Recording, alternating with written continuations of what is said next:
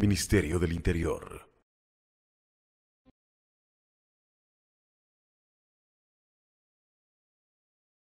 Durante estos últimos años, cada vez que nosotros, nosotros me refiero a la propia institución, ha tenido la capacidad de identificar a miembros de la institución que se han alejado de la misión institucional, no hemos tenido reparo nosotros mismos de ponerlos a disposición de los jueces y de la justicia. Y sin importar el grado o la función que cumplan estos oficiales o estos miembros de la institución. De ahí que ha habido desvinculados o separados de la institución, desde el grado de coronel hasta señores clases y policías, entendiéndose que posiblemente hay mayor proporcionalidad en algunos de los cuadros, porque en esos cuadros hay mayor número de gente en la institución.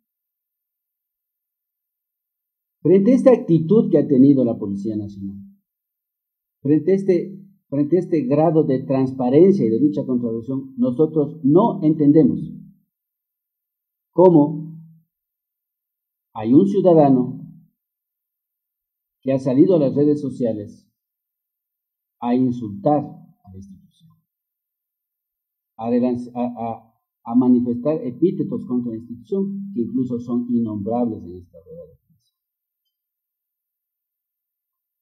Palabras que ofenden a la Policía Nacional, palabras que ofenden a todos los miembros de la institución. Y nosotros como Policía Nacional, el mando institucional cree que tenemos que tomar una posición que es la única posición que nosotros podemos tomar.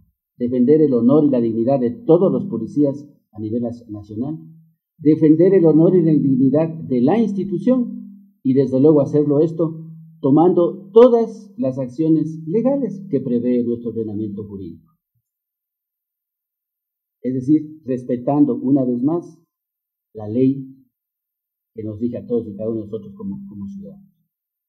El día de ayer, frente a un sinnúmero de tweets que han salido una cuenta que se identifica como de un ciudadano Fernando Valda, nosotros hemos presentado ante el Sistema de Justicia Nacional la solicitud para que se llame a esta persona a una confesión judicial, para que afirme ante el sistema de justicia si esa cuenta que también no podría ser de este ciudadano, y si los tweets que están escritos ahí, los ha escrito este ciudadano. Luego de eso nosotros continuar con las acciones legales que corresponden. Yo no voy a repetir, yo no voy a repetir aquí lo que se ha dicho.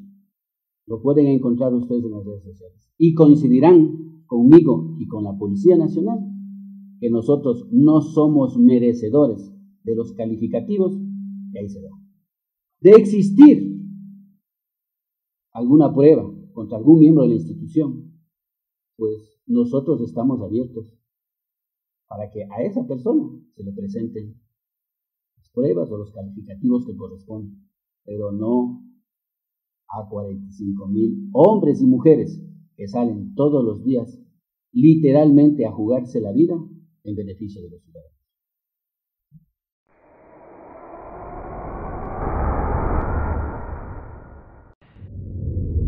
Ministerio del Interior.